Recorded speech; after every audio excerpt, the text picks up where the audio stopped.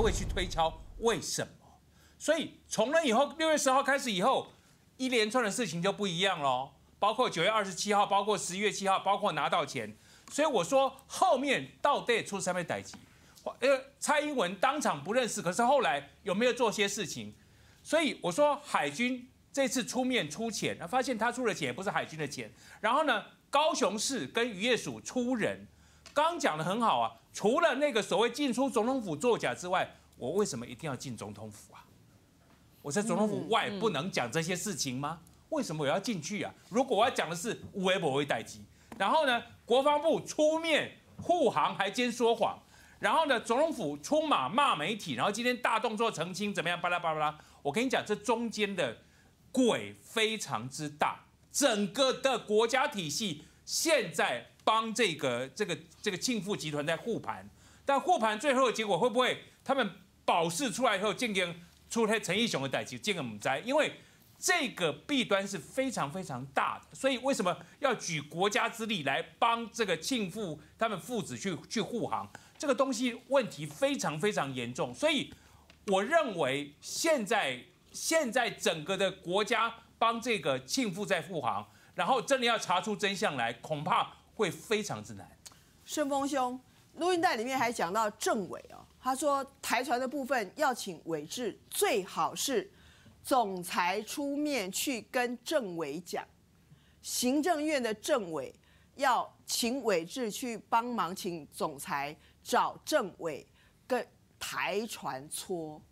然后呢，政委呢，行政院的政委有这几个：施俊吉、林万亿、林美珠、张景森、吴正中、吴鸿谋。哎。”吴鸿蒙也刚，我们刚刚有念到，曾经辞职那个吴鸿蒙、陈天之、老蓝南，然后许张尧这一块，我们都还来不及好好讨论，牵涉的人部会何其多，三支几席的在野的力量好好的发挥，假若连这个都发挥不出来，然后在下一次选举告诉他说投给我们，我们会怎么样子，那是没有人信的。为什么？因为这个案子里面的证据太明显，有人证。有物证，有事证。录音带就是物证啊，啊，事证这个钱应该是今年三月份、明年三月份拨的，我现在提早给了，这个事证都非常的清楚了。有了找政委，那政委是谁呢？这个事证都可以值得记录。假若连这样子有人证、有物证、有事证，然后我们最后说期待司法给我们一个清白的结果，那就自己跳河算了啊。这是第一，我我我先讲这样的一个结论：说国民党今天在野的力量，尤尤其在立法院有席位的在野的力量，一定要把它当做一回事，不要到最后被时代力量这边乱玩乱搞，可不可能？是有可能的的情况下，这一个要好好的去掌握，因为这一个的证据实在是太明显了。别说什么，请交代我们几件事情。刚刚的一名委员讲的，一名委员讲的一个事情，假若以查。庆务案出来的时候，民进党是怎么扯马英九的？以扯马英九的功力，对，好好的把这件事情照同样的标准交代一下，那我们社会就会很满意了。各位，太多的切入点，你看看，一个做渔船的，做游艇的，最后要做军舰，哎，军舰不是船上面放两个 放两根炮就叫军舰 你以为是是索马利亚的海盗啊？索马利亚的海盗就是游艇上面加两根加两个机关枪。不是哎，它里面要有很好的管线，它要有那个抗浪力，它要有速度，它太多太多太多的条件，怎么我们轻易的就把渔船跟游艇的制造商来做经验？我们过去有有制作经验的经验呢？不是没有哎，那为什么最后会变？这一开始就有鬼。那第二个来看看更大的鬼是什么？哎，这个这个委员呢，或者是这呃这龙介都当过民意代表。我们也当过，我们也清楚，要付一笔钱，这一笔钱没有，需要去东挪西凑各个单位的钱来给你。请问你们发生过吗？我们服务水没说发生过吗？啊？可以可以发生过，不不不，有没有发生过嘛？不会发生嘛？公务人员就有一句话嘛，哎，我们要照章行事，对，就图利罪啊。我们依法办事，合约在这里，就明明可以，不，你不要说提前给你，根本可以晚给的。不是，现在我就我再举一个例子嘛，就说好吧，这破除所有的障碍，通通要给了，结果这本预算是没有的，就把就把海军的钱拿一点，空军的钱拿一点，空军拿一点陆军的钱拿。你会同意，但我们其他科室，我们不会这些什么不会同意。而且我说谁敢啊不是，今天除非这个主管，这个主办的主管非常全力的压压着大家去做这一件事情，嗯，哎，否则的话，一个海军不，一个空军不同意就就不行了。一个他的，这里面涉及了这么单位，没有鬼。那才真的有神呢，是吧？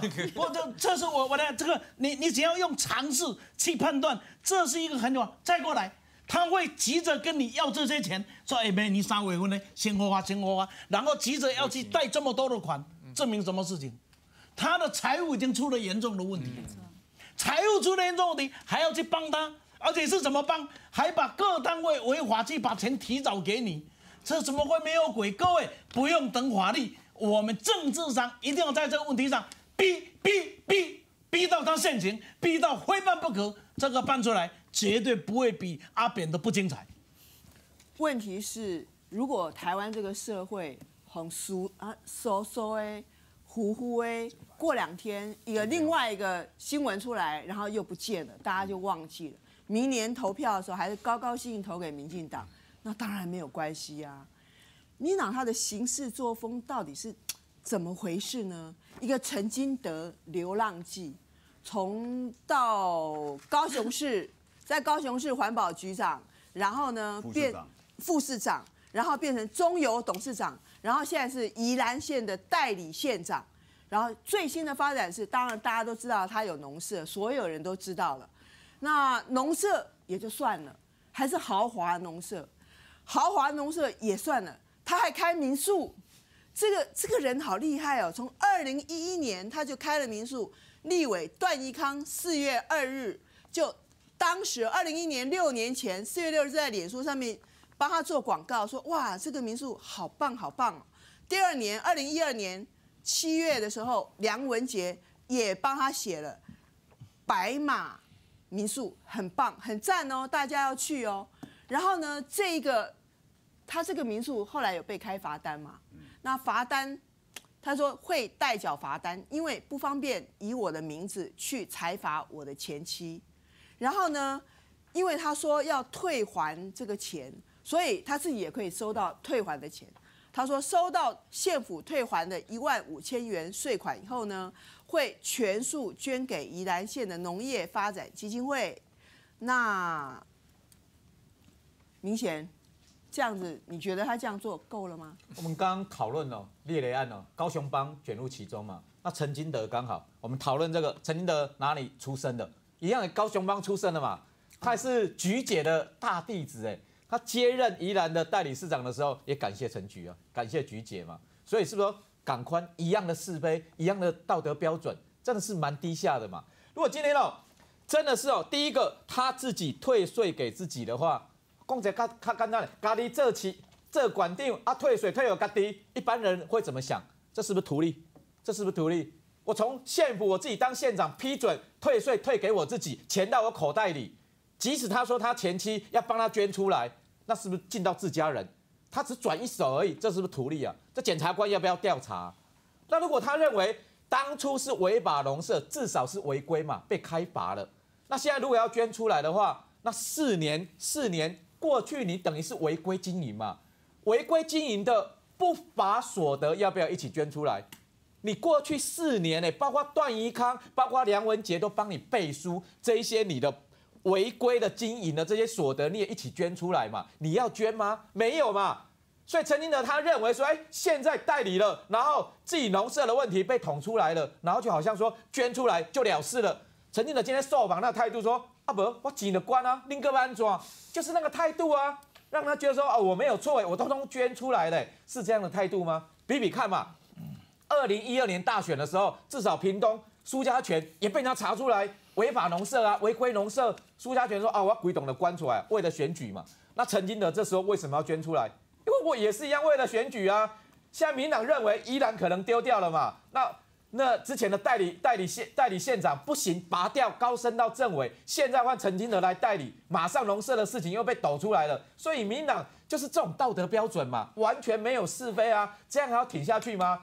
奉劝陈金德，干脆哦，通通不要捐了，通通留着自己，否则要捐就捐干净，不只说你过去的这些盈利的全部都捐出来，拜托你也请辞吧。这官位实在难看的到底。今天有立委批评说这是赎罪券嘛，就是这样子啊，很难看嘛。所以哦，民党哦就欺压老百姓，欺压这些农民，欺压土地。过去想什么土地争议，通通骗人了。为了选举，民党什么都可以骗啊。